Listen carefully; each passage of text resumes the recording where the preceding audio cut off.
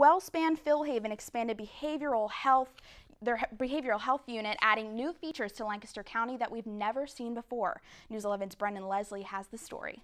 Ephrata Community Hospital is now the new home to an expanded behavioral health unit that can accept up to 18 patients. This $3.4 million project is the first of its kind in Lancaster County and they celebrated this latest accomplishment with a ribbon cutting ceremony today. It's the first of its kind in Lancaster County. What makes this unit unique is that it combines the chronically mentally ill patient who also has medical complexities. This specific location was uh, um, chosen because we're located within a hospital setting. We're really excited about the opportunity to do this with WellSpan Ephrata Community Hospital.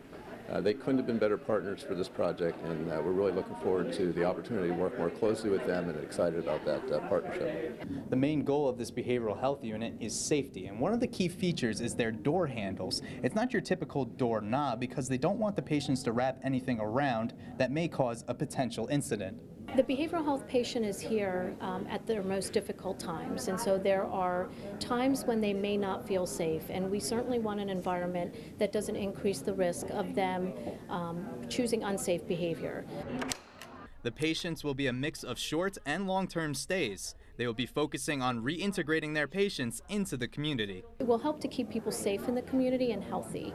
And so um, it's important that those, those individuals who suffer from chronic illness um, understand and accept their illness, um, work on their recovery, and are aware of what they need to do when they're in their community to keep themselves safe.